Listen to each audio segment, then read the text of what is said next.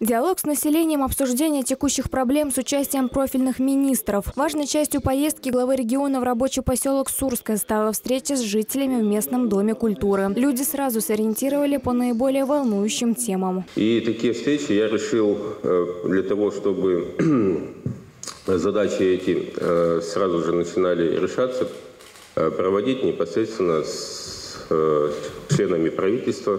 Со мной поехали министры. Это очень важно, это дает возможность мне, будучи губернатором Ульяновской области, понимать, что действительно волнует наших с вами жителей. Спрашивали русских и министров о водоснабжении поселка Сурская. Зимой терпимо в дачный сезон много проблем. Сурская получала воду из двух скважин, но в одной обнаружили большое содержание сероводорода. Использовать такую воду нельзя. Вопрос бурения новых скважин возникал не раз, но пока тишина.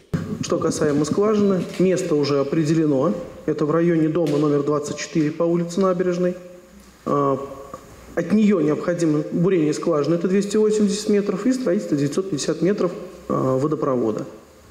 Как я уже сказал, место определено. А, предварительная стоимость проектных работ – это миллион полтора и порядка 10 миллионов на это выполнение этих работ. В этом году изыщем средства. Резервный источник водоснабжения у села Сурское должен быть. По результатам встречи было принято несколько важных решений. Например, построить новые фельдшерско-акушерские пункты в селах Лава и Чеботаевка. Провести газ в Хмелевское сельское поселение. По словам русских, решать озвученные проблемы будут в сжатые сроки. Также затронули и вопрос благоустройства поселка. Алексей Русских проинспектировал завершение реконструкции торгово-ярмарочной площади. За время ремонтных работ здесь обновили асфальт, оборудовали велодорожку, дорожку с безопасным резиновым покрытием, смонтировали систему освещения, повесили уличные гирлянды. Установили навесы со скамейками, качели, фотозону. Кроме того, рядом с парком установили мини-скалодром для детей. Рассмотрели проект благоустройства Никольской горы. Обязательно надо министру учесть место под парковку автобусов.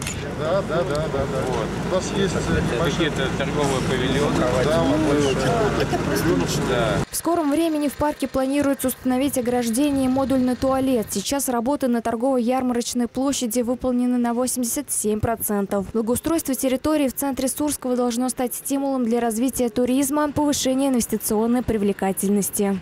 Алина Тихонова, Герман Баранов, Улправда ТВ.